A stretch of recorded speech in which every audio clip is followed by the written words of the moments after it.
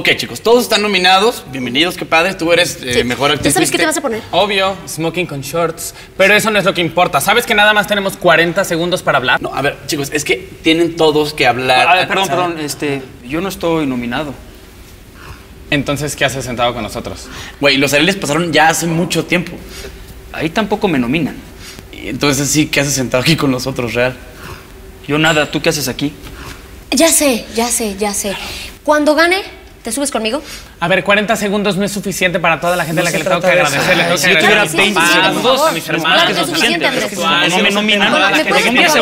Chicos, hay que saber sintetizar. ¿Se pueden callar dos segundos, por favor, real? Entonces, ¿quién va a ganar?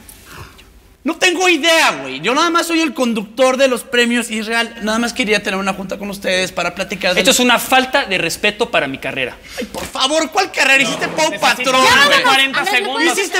Es real. Empezaste en YouTube. Sí, a ver. Imagínate que le quedó Empecé en YouTube, empecé en YouTube, pero estaba bien padre mi canal, estúpido.